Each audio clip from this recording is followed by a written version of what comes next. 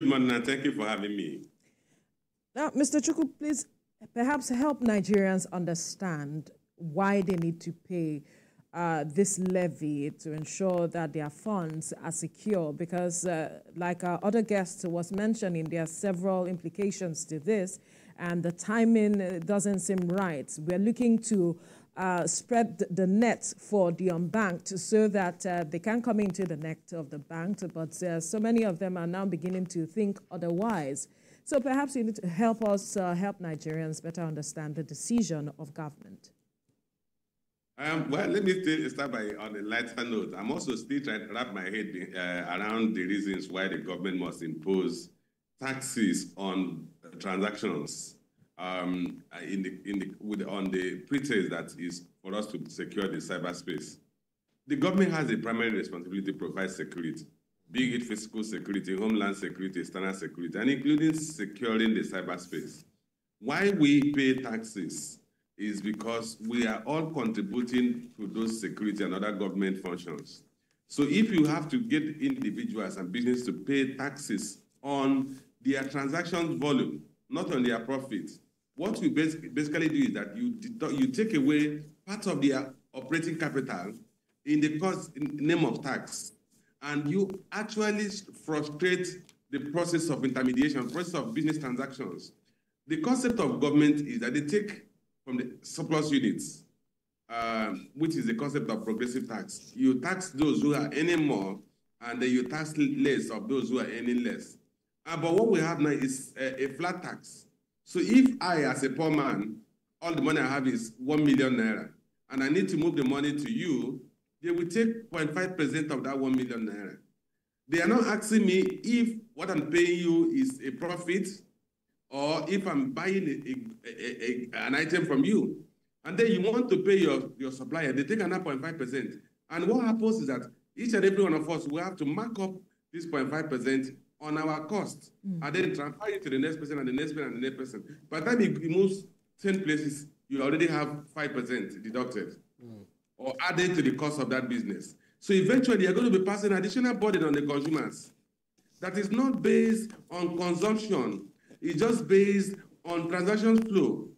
So I think it's a very wrong tax for anybody to think of. So that's why I'm also still struggling to wrap my head around why the government would impose a tax of 0.5% let me tell you, most low margin business do not earn 0.5% profit on their transactions. Hmm. So if you impose 0.5% on transactions, they are paying taxes not from their profit, but they are paying taxes based on their capital. By the time they continue that velocity of circulation and move their monies around to buy goods and sell goods, they will end up in the next one year eroding the entire capital. Mm. Right, Johnson Chukwu, uh, let me tell you, if, if you have um, one million naira in your account, you're not a poor man.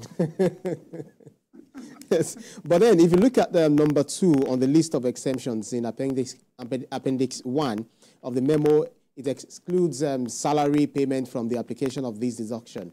And my question is, how do you think you know, this will be adapted to suit informal sector workers? Because, uh, you know, those who earn wages and not salaries. Is that to say that, especially for a country that has a huge percentage of its populace in the informal sector, how do you think they can go about, about this? Is that to say that, you know, if you want to do transactions, you know, the other hand you just have to put the narration, uh, security, uh, cyber security levy, etc.? It's not even at your discretion. It's basically at the bank's discretion. Um, if I transfer money to you, what basically why they, they can effectively exclude um, uh, salaries is because salaries are paid as lump sum payment from um, um distribution from uh, institutions or employers to their employees. So salary payments can be taxed and a, a, proper code used to exempt it. But for the man who is selling a handkerchief on, in, on, in Maryland, on the road in Maryland, and who goes to buy uh, the handkerchief uh, from somebody, and if he has to do a transfer from his account to the person who supplies him handkerchief, um, he, there's no way he will tag it as salary uh, or wage. So it's a transaction uh, payment, and they will slam a 0.5% on it. But look at that man who sells five hanky in a day, and you are taking tax of 0.5% on every payment he pay, makes. How do you think, what would you think happen to his life, livelihood? What level of capital do you think he has? that you're taking 0.5%, do you think he make 0.5% profit on each of those hanky sales?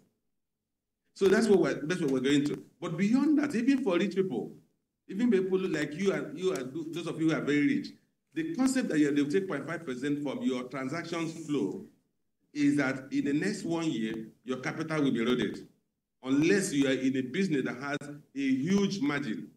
And for you to safeguard yourself from that, you have to begin to mark up. And today, we don't have, Nigerians don't have money to pay for anything. They don't have money to live basic, to buy basic things of life. My colleague David was talking about inflation rate at about 3.2% in March, food inflation at 40%, and it, it, cannot exempt food items. So if I want to buy five tubers of yam, and the person who is selling the five tubers of yam in the market says, okay, transfer to my account. As I make that payment to the person's account, they will take 0.5% from it. Mm. And this guy who retails uh, yam in uh, Mile 12, we have to pay somebody who supplies yam. Maybe now he has to pay like 5 million to the person who supplies yam to him. They take another 25,000 from it. All right, all right. Johnson Chukwu, let me stay with you because we have limited time now. Uh, the government is saying that this matter is to tackle uh, crimes and terrorism, and that uh, Nigeria actually lost about 273 billion naira to cybercrime in about in the year 2002, and we have seen that increase over the year. So, what would you proffer to government now if you are saying that uh, this is not healthy for us at this time? What I would say government to do is that they need to recognize one thing. Let me talk from a broader perspective before I get to the narrow uh, to the uh, specifics of your question. Tax is a leakage in any economy, and subsidy is an injection. When you take tax from the economy, you deduct from the uh, prospect of that economy growing. One of the things they use to slow down economy that is is heated up is to increase taxes so that you slow down the economy. Our economy is struggling. So what we should be focusing on, how do we create incentives to grow the economy so that we're increasing the pie?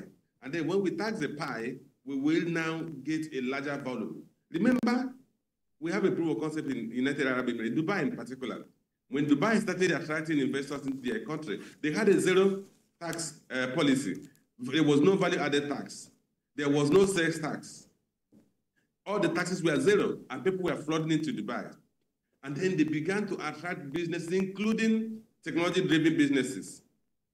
And it, eventually, Dubai had become a big economy, a large economy. And what have they done? They have introduced those taxes. So they are extracting value on a larger base. All right. That's what they've got to focus on.